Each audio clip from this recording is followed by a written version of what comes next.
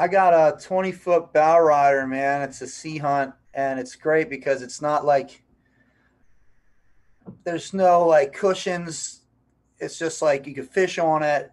Mhm. It's got a big gas tank, so I could go like pretty much all day on one tank, and uh, I just beach it, man. I got all these little sandbars and beach bars, just like rolled up, cut the ends in, put it up, and just right on the beach. Damn, you gotta It's been great, gotta hit me up next time. dude. Yeah, man.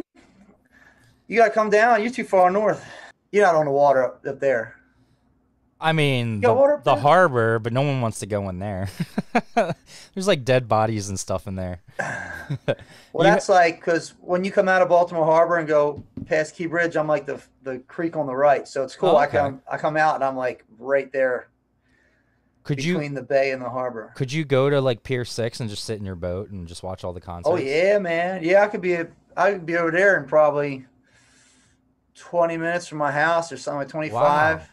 Wow. I hang in like Dundalk mostly and like Point Pleasant over kind of like in the harbor, Nick's Fish House. You know, not Right. right, now, but like when they're open Right. and stuff. Nick's Fish House in